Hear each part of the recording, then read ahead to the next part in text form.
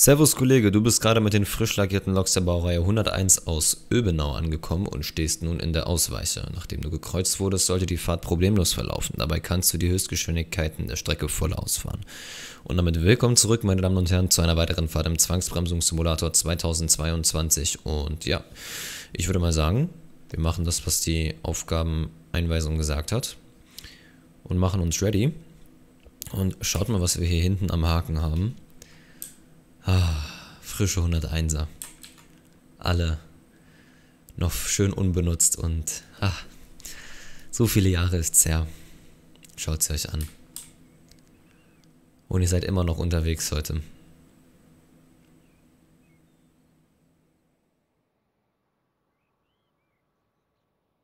Cool. Dann würde ich mal sagen, gehen wir an Bord. Oh, müssen wir den Führerstand wechseln. Und machen unsere 100 12 abfahrbereit. Dafür brauchen wir nochmal ein bisschen Luft in den Hauptluftbehälter einpressen lassen. Und können aber schon mal... Ach ne, können noch nicht. Erstmal noch kurz warten. Können aber schon mal den Stromabnehmer vorwählen.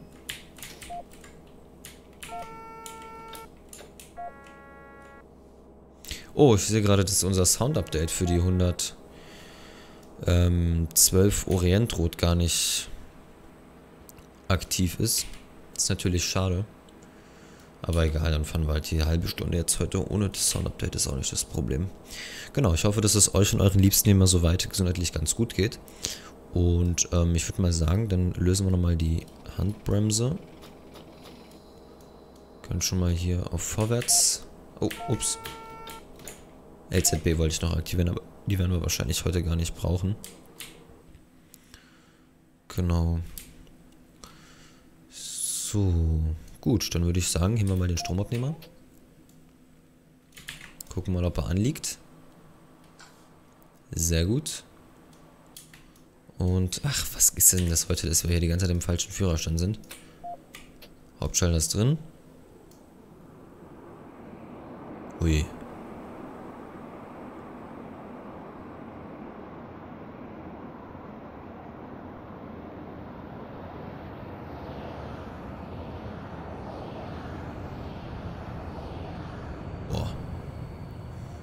für eine Garnitur uns gerade entgegengekommen ist. So, okay, der muss warten, der Kollege, und wir dürfen jetzt vor. Sehr schön. Dann würde ich mal sagen, machen wir das auch.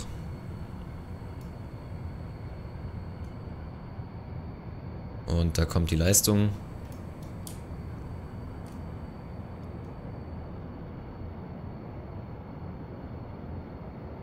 Dann fahren wir jetzt parallel mit denen aus. Cool. Ja, und ihr müsst nichts machen. Mann, jetzt sind wir wieder im falschen Führerstand. Gut, befreit haben wir uns auch.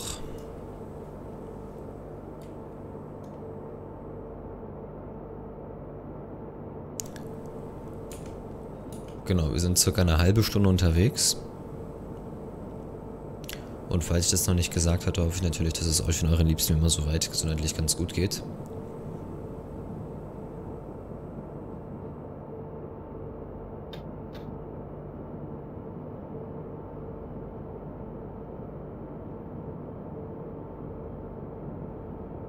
Ja, da muss die 112 ordentlich ackern hier.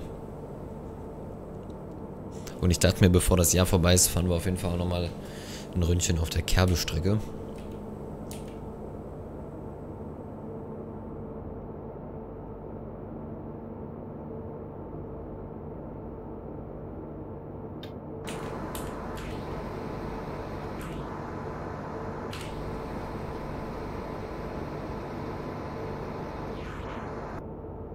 Na, Mensch. So. Dann würde ich mal sagen, gehen wir hoch auf die 100. Oh, die 112 will sich ja schon ausruhen, habt ihr gehört? Die Fahrmotorlüfter sind gerade ausgegangen. Ich glaube, es hackt hier. Jetzt drehen wir erstmal richtig auf.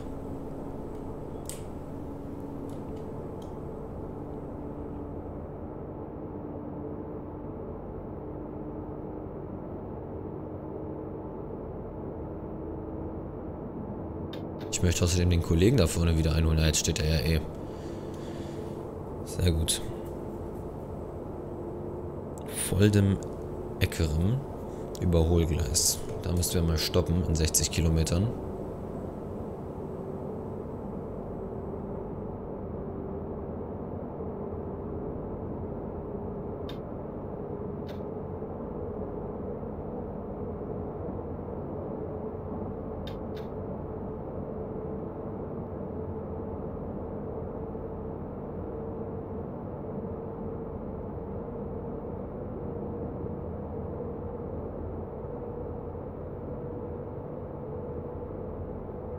So, hallo Kollege. Müssen wir mal einfach kurz ein nices Thumbnail machen. Wartet mal. Kriegen wir da irgendwas hin? Ich mach mal kurz hier eins. Ah, schade, wegen den Signalen, aber egal. Boah, guck mal, wie leise die sind hier. Ist das da hinten Amazon 101 gewesen? Nee, ne? Nee, das sah aus wie so ein Amazon-Ding.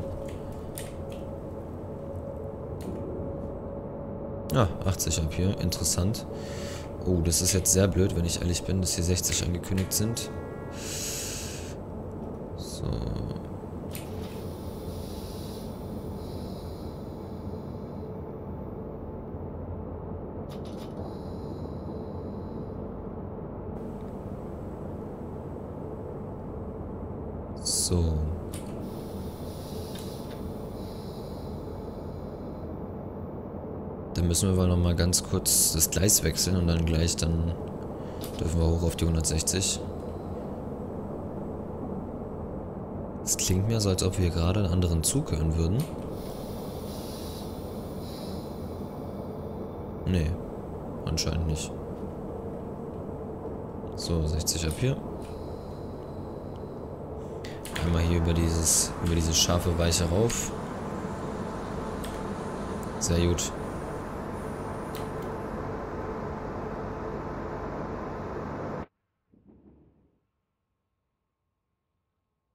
Ach, die machen gar keine Geräusche, alles klar. Nicht mal ein bisschen.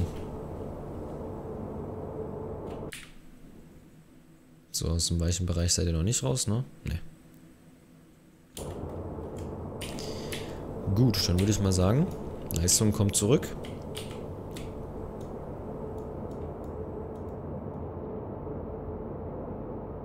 Doch nicht, müssen wir nochmal. Jetzt aber. Und los geht's.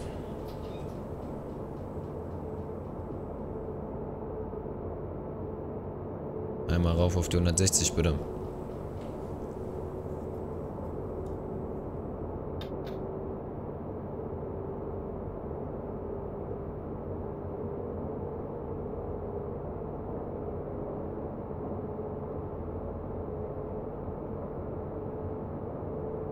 Grüßen wir mal den Kollegen hier. Hallo. Mit seiner Orientroten 120.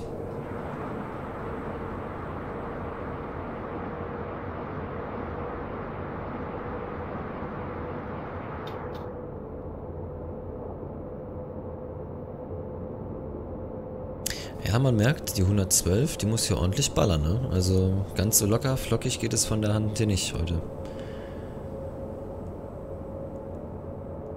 Endlich wird die mal ein bisschen gefordert hier.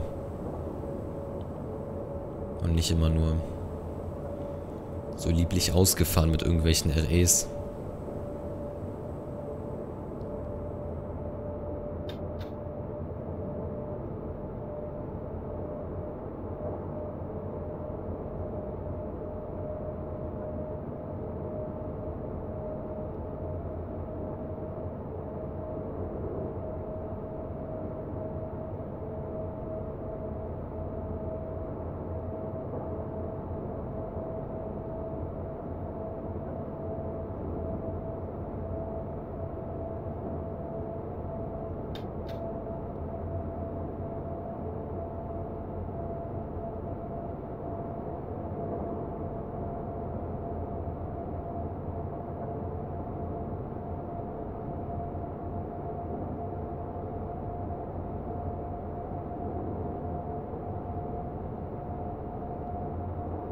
Na, 80. Ganz blöd. Hm.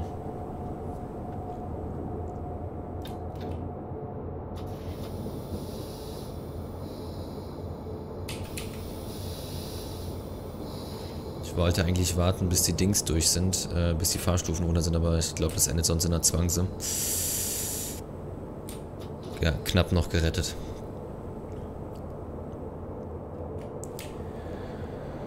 Uiuiui, wirklich. Was ich hier wieder für Sachen mache.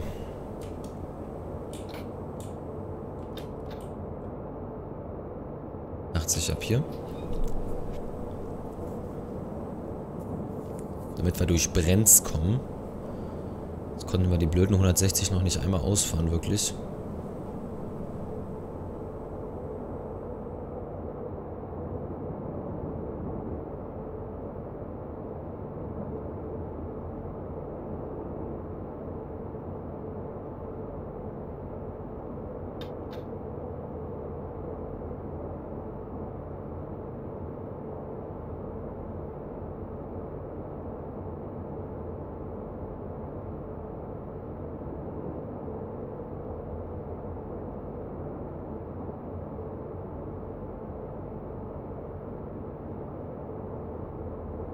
So, danach aber hoffentlich.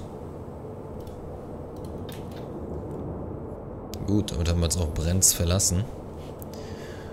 Und können gleich auf unsere 160 hoch.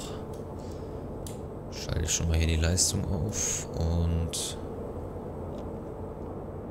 nach dem weichen Bereich. Kann man hier oben schönes Spotting machen? Ja, können man. Können man, sehr gut.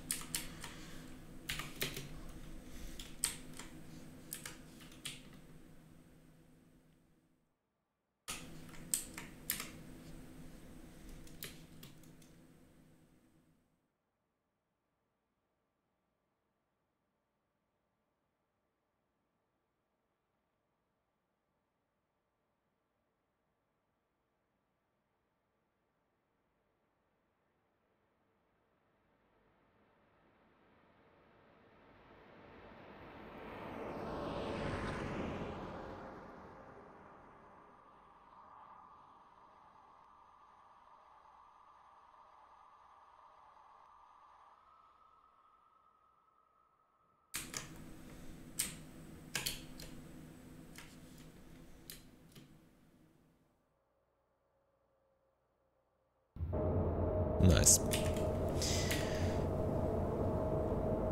Na, und da vorne kommt schon wieder 120. Dann stelle ich mal gleich hier die 120 ein. Mit dem Fahrregler.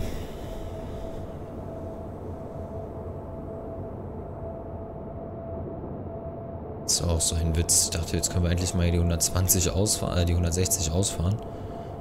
Da kommt er mir gleich wieder so hier. Wo ist denn eigentlich äh, das Voldem-Eckern-Überholgleis? Kurz gucken, also wir sind jetzt hier. Ist hier Voldem-Eckern? Nee. Nee.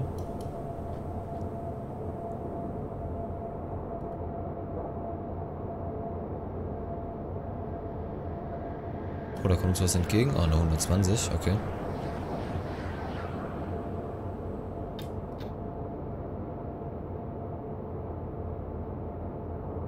Ach, nicht Eckern, Eckerem. Eckerem, das klingt so leicht türkisch irgendwie.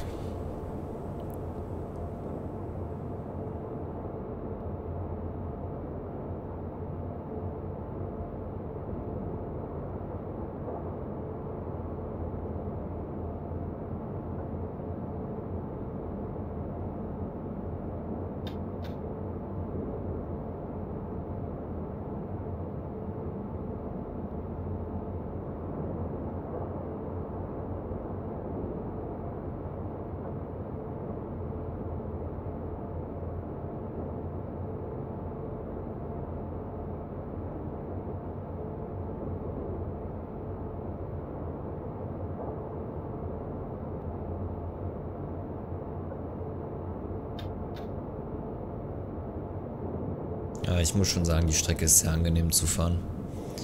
Auch die Landschaft ist sehr schön.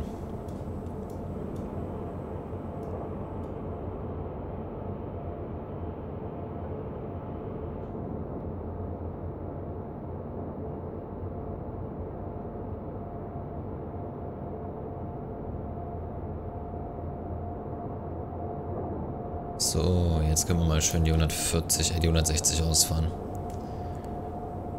So lange wie es geht. Und dass wir sie auch mal wirklich erreichen. Ich meine, die 112 muss sie schon hochkämpfen hier mit ihren 101ern hinten dran.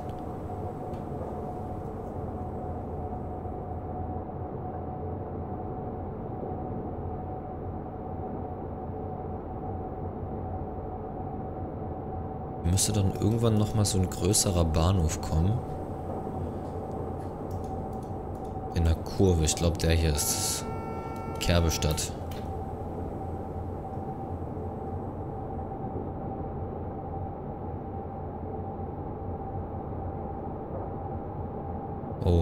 Geht's auch ein bisschen bergauf.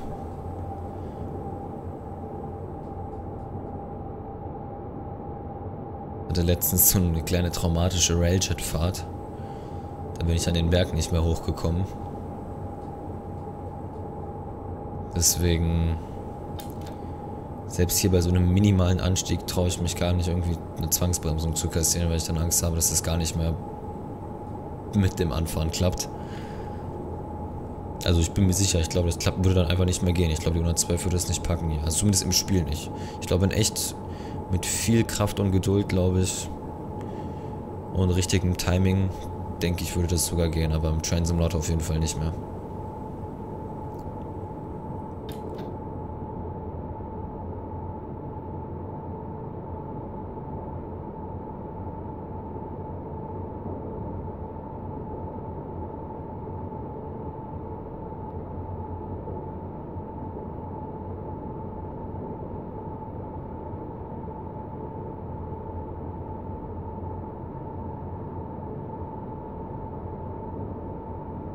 Oh, wartet mal.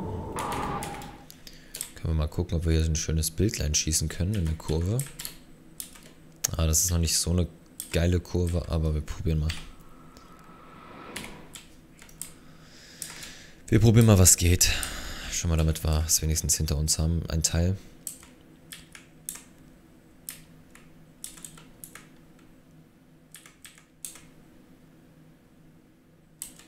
Nee, ich brauche mal eine richtige Kurve.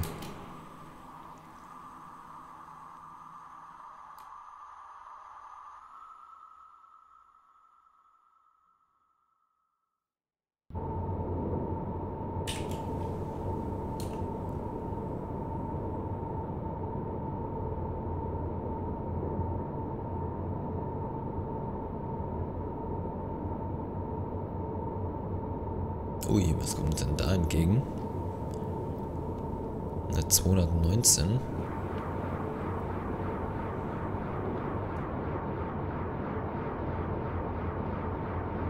Ist sie da um die Ecke gedieselt?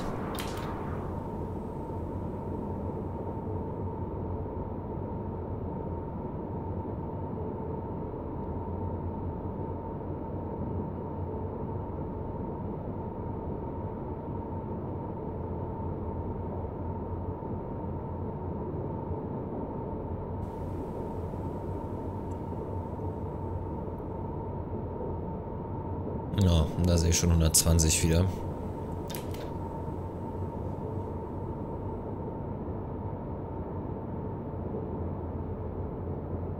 Glaube, jetzt durchfahren wir gleich Kerbestadt.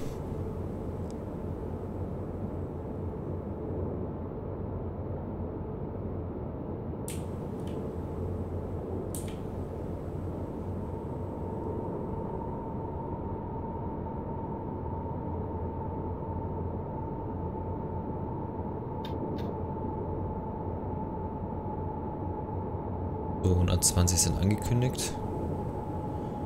Ich hoffe mal, dass die bremsen noch rechtzeitig bis zum GPA. Ich helfe mal ein bisschen nach, wenn ich ehrlich bin. Da der hier schon kommt, der GPA, ne? Oh, bitte keine Zwangse. Wow. Okay.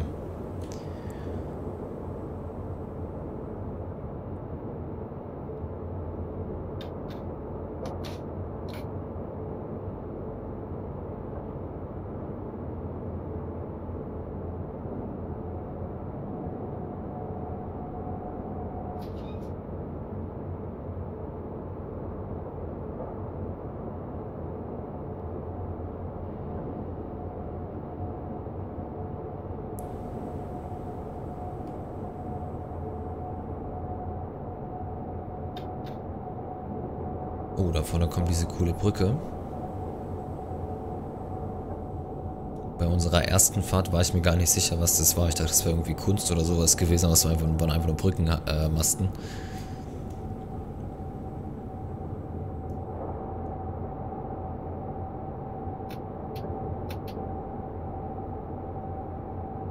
Ach cool. Kann man hier vorne betätigen. Oder ich dachte sogar hier, dass diese, die weißen Brückenmasten, dass die irgendwie Ladetexturen wären. Also die Texturen, wenn eine Textur nicht geladen werden konnte. Diese Ersatztextur quasi, aber das war tatsächlich ein gewolltes Design.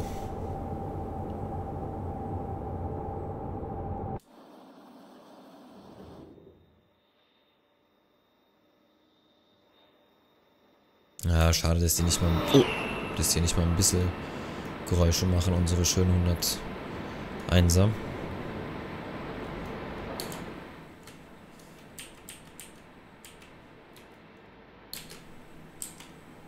Bahn BKK. Wir gehören zur Familie. Schaut mal hier unten, dieser Bogen, der erinnert doch so ein bisschen an das Amazon-Logo.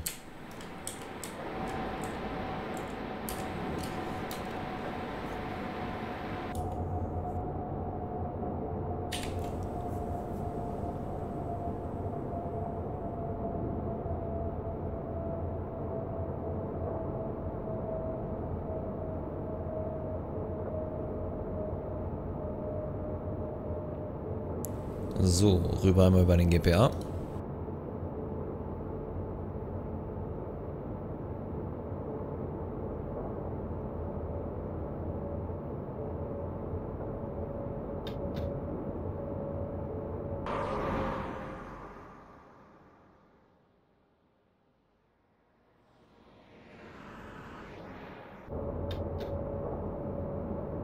Vielleicht habe ich jetzt hier die Chance auf ein gutes Foto.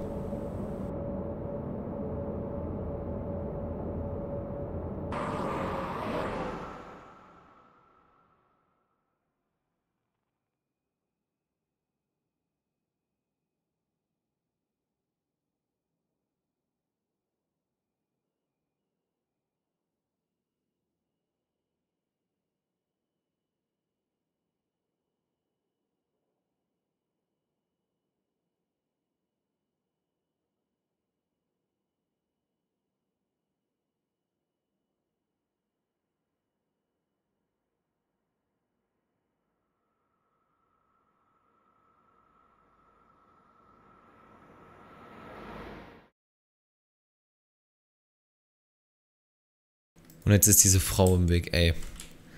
Egal, warte, dann gehen wir mal ein bisschen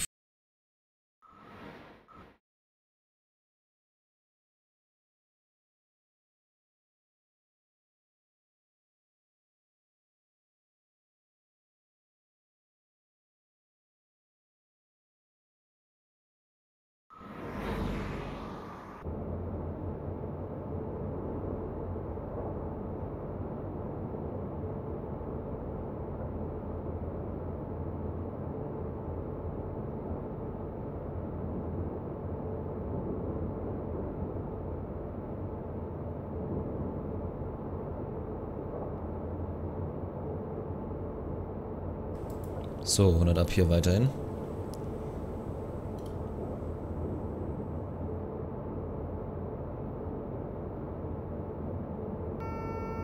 Ui. Ganz ruhig. Bin noch da. So.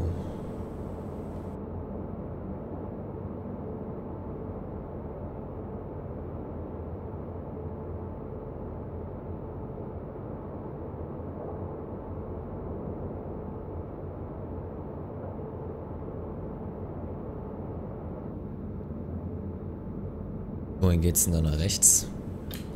Sieht mir schön dieselig aus, die, Stress die Strecke. Die Stresse wollte ich gerade sagen.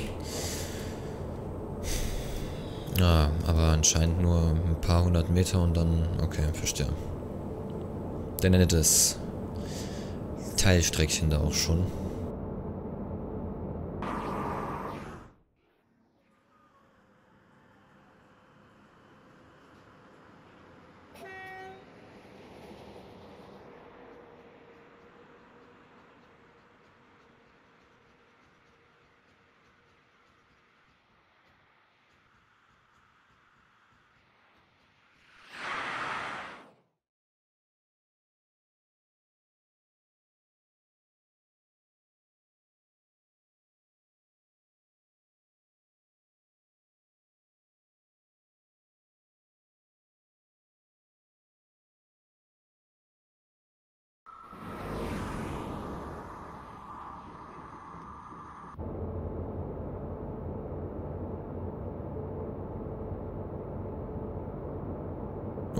Vielleicht hat man mich gerade gar nicht gehört. Auf jeden Fall meinte ich, da war eine 151 dran. Irgendwie komme ich heute ein bisschen zu oft auf meine Mute-Taste rauf. Also 60 sind da auch schon angekündigt.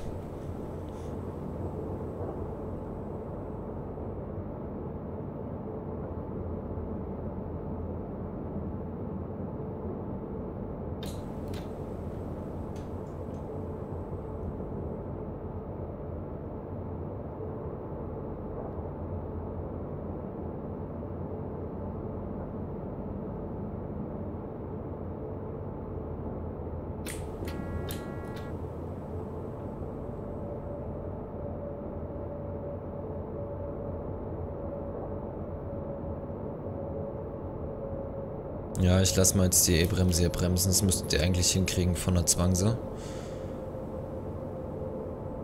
Ja, okay, alles gut.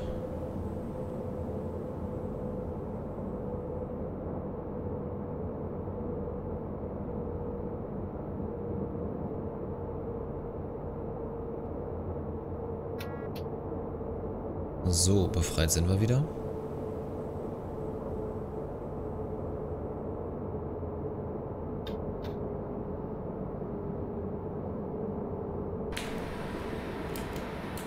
Schön wie sich in die Kurve legen.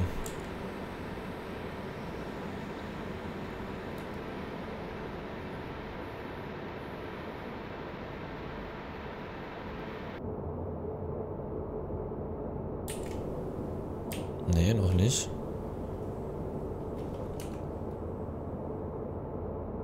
Jetzt.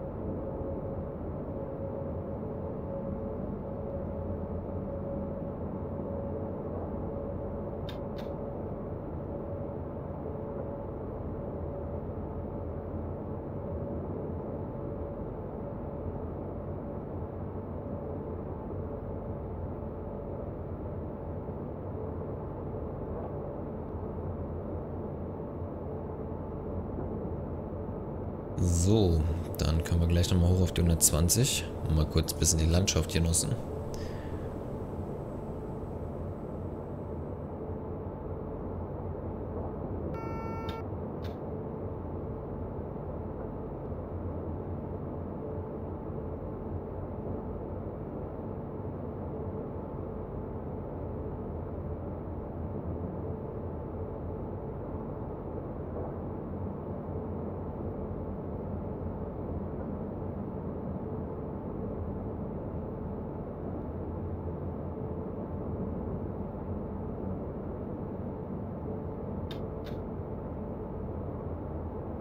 auf den letzten 20 Metern.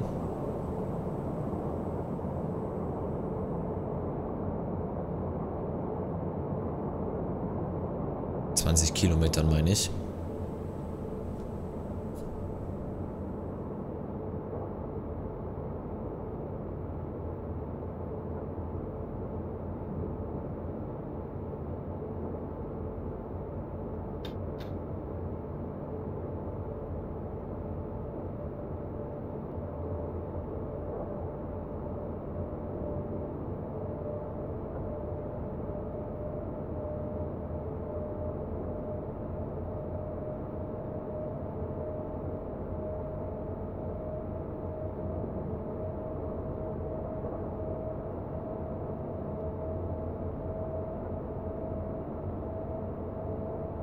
Ja, und da vorne dürfen wir nochmal auf die 140 hoch. Sehr gut.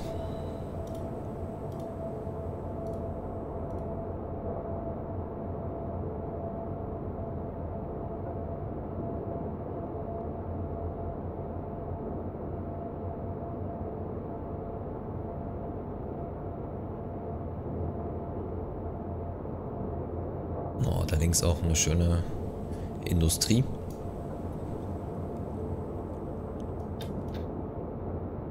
Wobei ich diese Tore eigentlich nur kenne von dem, glaube ich, HZL oder HLB-Werk da auf der Strecke Konstanz-Villing.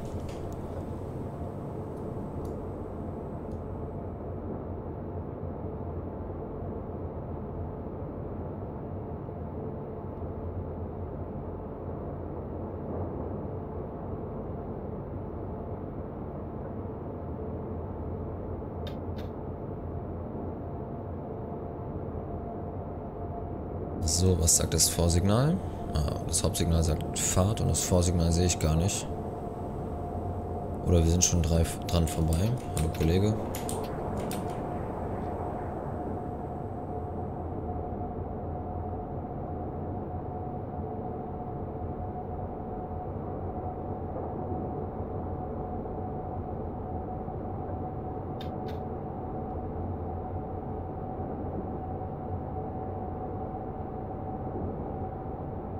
So, es aussehen, wenn wir ganz hinten drin wären. Wartet, zack.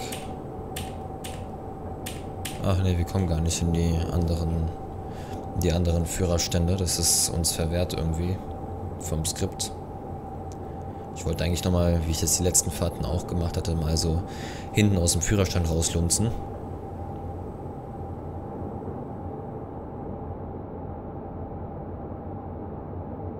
Hm, 1990 gab es wohl, oder 94 gab es wohl hier im Bereich der Kerbestrecke ein Linksfahrgebot.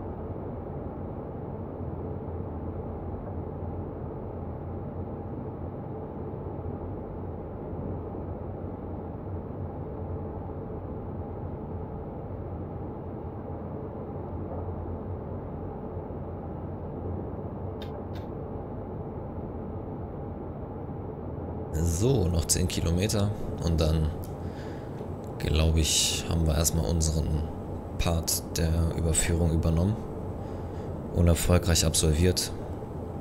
Sehr gut.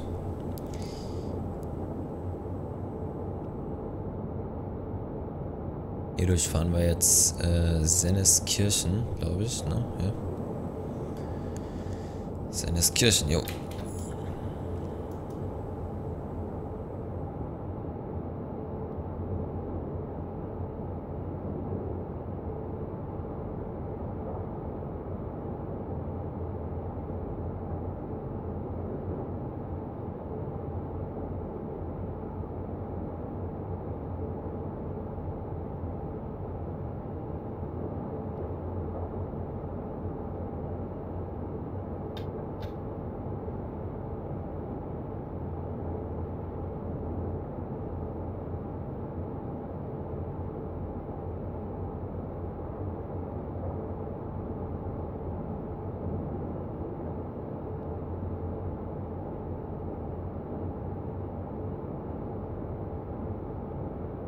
So, Freunde. Acht Kilometer noch. Bin mal gespannt, was wir dann machen müssen.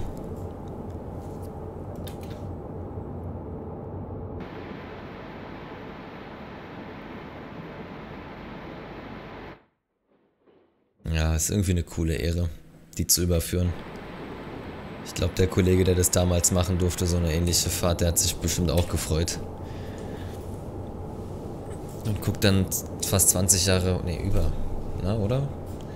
Naja, schon fast 30 Jahre später, dann guckt er dann runter und sagt so, ah, damals habe ich die 101er darüber gefahren und heute sind sie schon etliche Millionen Kilometer gefahren. Quer durch die Republik, bei Wind und Wetter.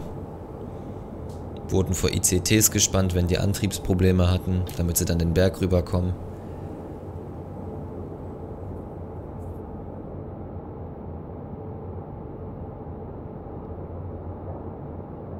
Manchmal hat man sie auch alleine fahren sehen von Berlin-Grunewald über die Stadtbahn Richtung Ostbahnhof oder entgegengesetzt. Also aus Lichtenberg zum Beispiel, beziehungsweise Ostbahnhof kommt Richtung, oder Rummelsburg dann darüber über die Ecke Richtung Lichtenberg, dann Ostbahnhof und dann Richtung Grunewald oder eben nach Spandau, je nachdem, wo sie gebraucht wurde. Apropos Stadtbahn, ich habe, glaube ich, an einem Freitagabend war das, vor gar nicht allzu langer Zeit. Ähm, Freitagabend, so gegen 22 Uhr, war ich zufälligerweise unterwegs. Grüß dich, Kollege. Mit dem. Nee, nicht mit dem, sondern auf dem. Was war das nochmal für eine Straße? Auf der Straße des 17. Juni. Und ähm, dann war ich da beim S-Bahnhof Tiergarten.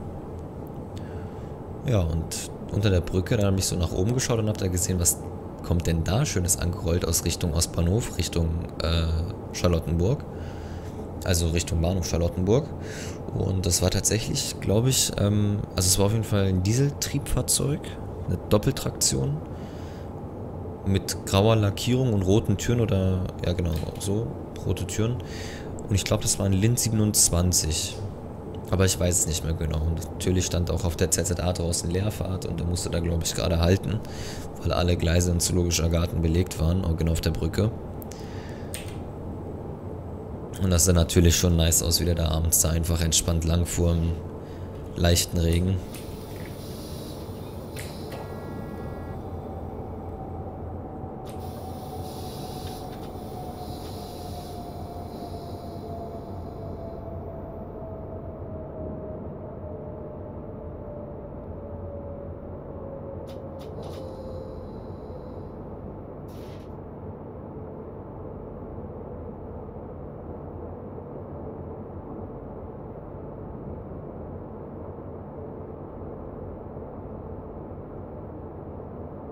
So. Dann 50 ab hier.